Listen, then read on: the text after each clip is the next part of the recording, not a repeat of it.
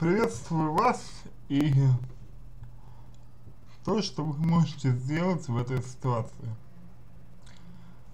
Поскольку мужчина, как вы пишете, не хочет, значит так, он боится потерять свободу, когда уже есть ребенок, то, то есть э, получается, что ваш мужчина знает, что у вас есть ребенок и не хочет э, принимать ответственность за него и за вас, боится потерять свободу, которая у него есть сейчас и которой не будет, если он с вами вступит э, в более близкие отношения. Что в этой ситуации можно сделать, так это только то, что э, показать ему, что вы от него не зависите. Дать ему понять, что, ну, если он не, гоп не готов, то вы не будете его терпеть. Вы не будете его ждать. Вы не будете надеяться, когда он там э, будет готов. А может быть он вообще очень долго не будет готов, так что теперь придется ждать. Вам нужно показать, что вы независимы от него, что вы готовы с другими мужчинами общаться, что вы готовы э, другие отношения заводить, других мужчин смотреть. Дать ему понять, что он может вас потерять. И, и вот если мужчина увидит реальную возможность вас потерять, он увидит, что вы действительно можете уйти от него, вот тогда его чувства дадут о себе знать. И это будет проявлением этих чувств. Либо он будет вас возвращать, либо он позволит вам уйти. И если он позволит вам уйти, значит вы никогда его особо не волновали. А если он будет вас возвращать, значит, значит вы ему дороги, и он поймет, что хочет с вами быть. Тут нужно понимать, что э, женщина с ребенком это очень, очень особенный форм, очень особенный вид женщин. Женщина с ребенком на первый взгляд. Конечно, ну, воспринимается тяжелее. То есть эта тяжесть, она заключается в том, что вроде как больше хлопот, да, больше ответственности. Но с другой стороны, женщина, которая с ребенком,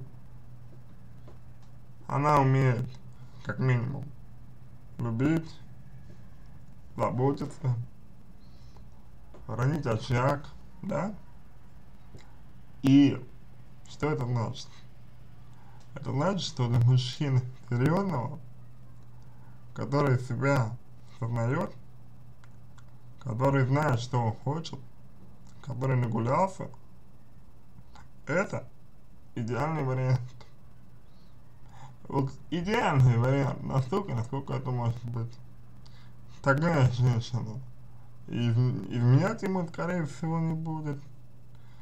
Такая женщина его заботы окружит, любить она умеет, и характер вести умеет. То есть все в этой женщине есть для идеальных отношений. Но мужчина для этого должен быть готов. А он не готов сейчас и подтолкнуть его к этой готовности вы можете только через то, что я вам предложил. По-другому никак не получится. Если у вас есть сомнения в самой себе, то эти сомнения нужно развеять. Добавить уверенность в себе. Понять, почему вы в себе сомневаетесь. Что заставляет вас в себе сомневаться? Заставляет вас думать, что вы только с этим мужчиной можете построить отношения, а не другим? И если действительно есть проблема с самооценкой, их нужно убрать. Добиваются они путем достижения успеха в других сферах жизни. А в зависимости от мужчины, если она есть, собирается за счет осознания э, своих потребностей, связанных с этим мужчиной. Вот что он вам дает, кроме, кроме личных отношений, кроме желания интимной близости, желания делать человека счастливым и желания быть с ним. Что еще он вам дает?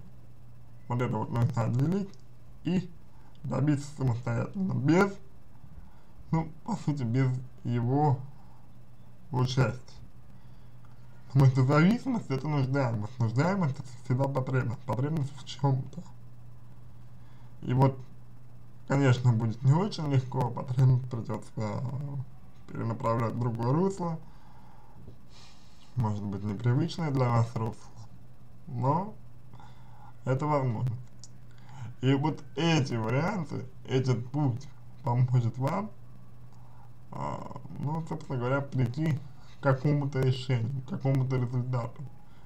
Поможет вам обрести хотя бы, ну, себя в отношениях. И, собственно, поможет вам получить определенность в жизни.